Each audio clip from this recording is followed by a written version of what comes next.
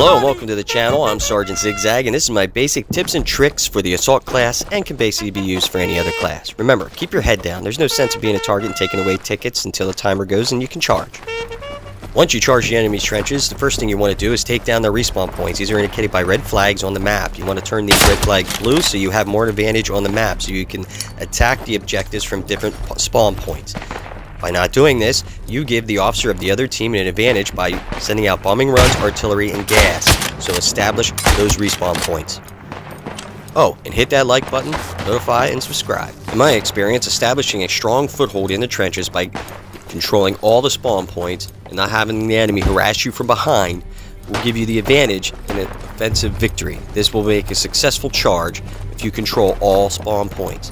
That way, all you have to do is continue on to the objectives and establish a strong foothold there and take down the enemy's objectives for an offensive victory.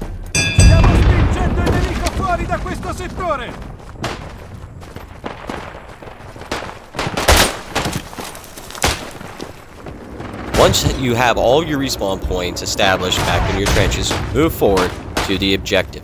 This is key to getting a victory in Isonzo. Staying on the objective keeps your troops moving forward from trench to trench to objective to objective. Rebuild those spawn points, and you'll establish a good strong foothold for offensive victories. Little note, here's a little tip on survivability. Don't stand in one place too long. Scan and sweep an area, then move. Scan and sweep an area, then move. You don't want to get zeroed in by the enemy. Also, when getting under heavy attack by multiple enemies, a little sidestep also helps. As you can see here, I was missing every shot and was lucky to survive. A little sidestepping and stay behind cover was key.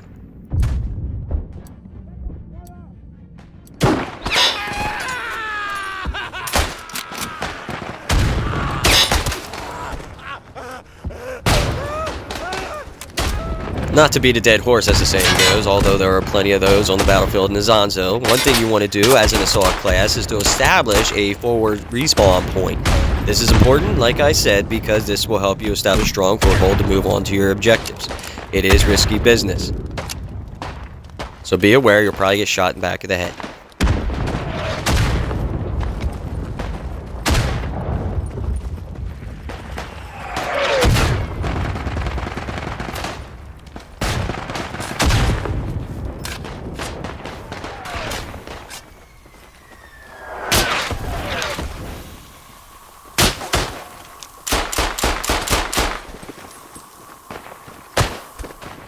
One advantage of the assault class is you have multiple weapons such as the rifle, pistol, and LMG that are available in your class. Also, don't forget about the melee weapon. The melee weapon is a very satisfying weapon to use. This weapon is great for buildings and trenches, especially clearing those buildings. Very satisfying.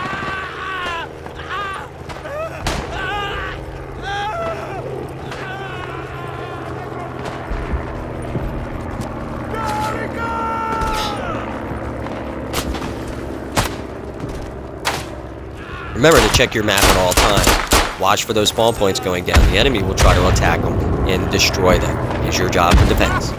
If you found these tips and tricks to be helpful, go ahead and comment below. Let me know any tips or tricks you may have for any future gameplay or videos that I could possibly make for Isonzo. Don't forget to hit that like button. It's highly appreciated. Sergeant Zigzag,